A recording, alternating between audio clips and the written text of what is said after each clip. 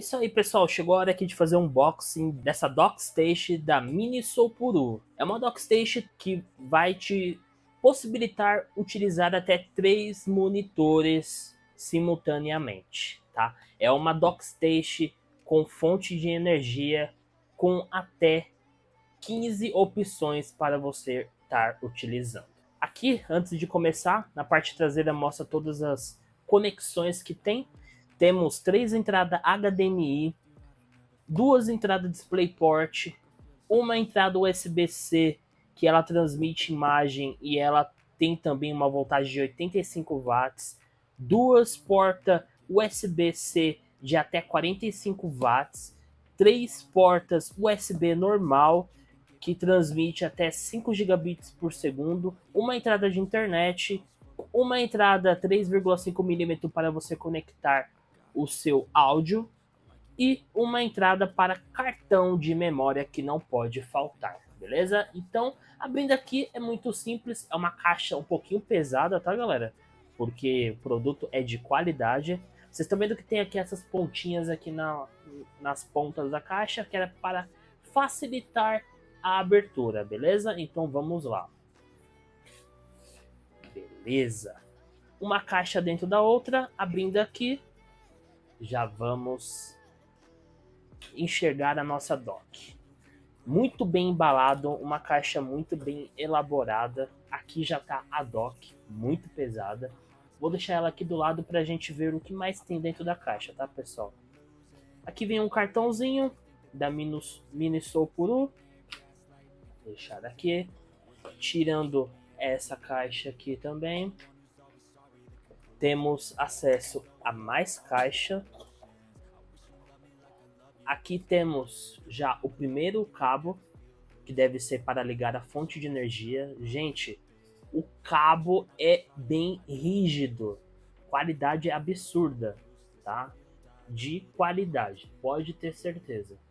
Deixar aqui.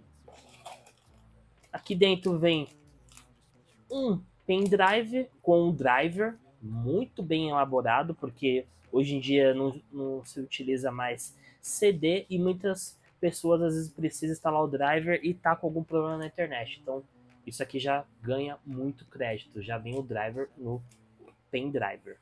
Muito bacana.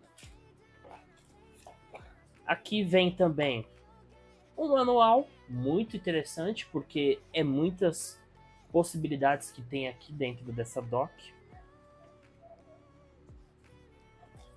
Vem também, olha que bacana, um adaptador tipo C para USB, muito útil.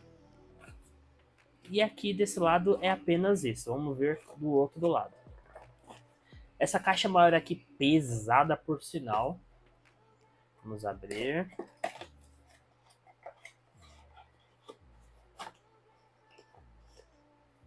Pessoal, aqui vem a fonte. Parece uma fonte de notebook. Olha o tamanho. E muito pesada. Uma fonte bem parruda. Aqui é padrão americano, pessoal.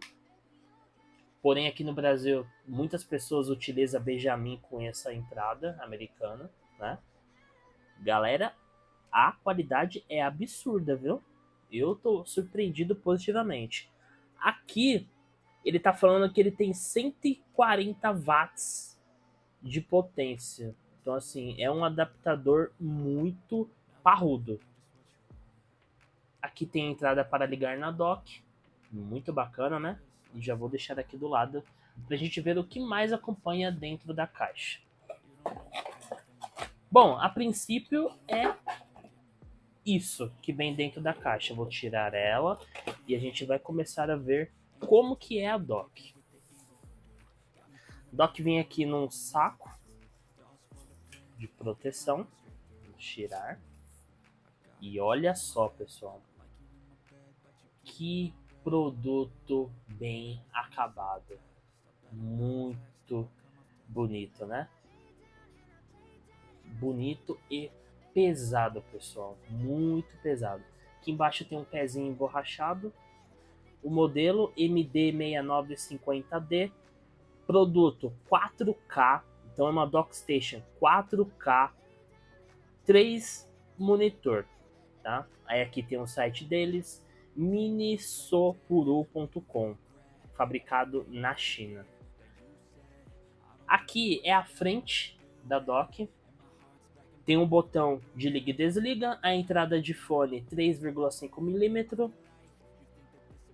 Aqui temos duas entradas de cartão de memória, uma entrada USB, uma não, duas entradas USB, outra entrada USB que já é um pouquinho mais forte e duas entradas tipo C de até 10 gigabit por segundo.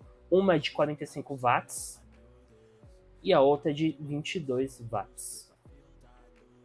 Na parte traseira, aqui é onde vai conectar a fonte de energia.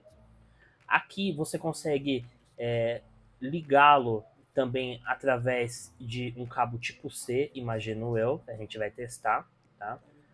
Aqui é uma entrada Ethernet, duas entradas DisplayPort, lembrando aqui ele já deixou claro, você só pode utilizar uma das duas opções. Aqui já está deixando claro, ó. Um monitor vai utilizar uma das duas conexões, ou DisplayPort ou HDMI. O segundo monitor, mesma coisa, ou DisplayPort ou HDMI. O terceiro monitor vai ser obrigatório somente utilizar o HDMI, beleza? Então assim, é uma dock com muitas opções, porém muito simples de entender, né, galera? Ou se você preferir, você utiliza a conexão padrão para ligar a dock, que é via energia com a fonte de energia dela, tá? Vamos ligar agora e ver essa belezura?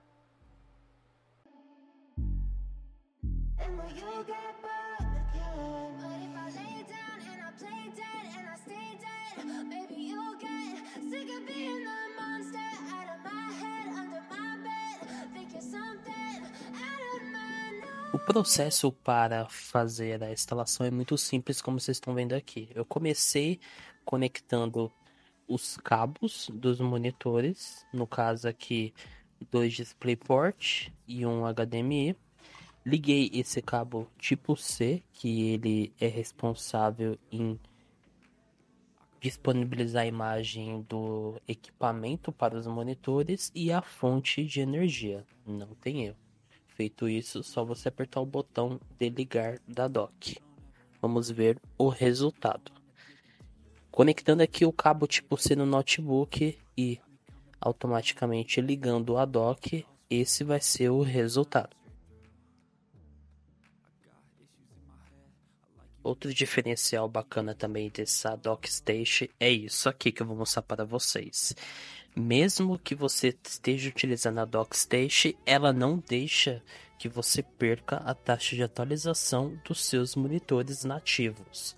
Por exemplo, aqui eu tenho dois monitores gamer, um da Bank, que ele possui uma taxa de atualização de 165 Hz, e um da Acer, que tem uma taxa de atualização de até 144 Hz. Eu vou mostrar mostrar aqui para vocês como eles não perderam a taxa de atualização mesmo sendo utilizada nessa DockStation.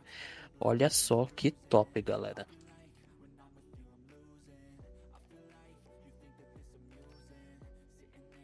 Lembrando que eu vou deixar o link na descrição do vídeo para você adquirir a sua DockStation. Qualquer dúvida que tiver, utilize o campo comentário abaixo que eu respondo a todos. Valeu, galera!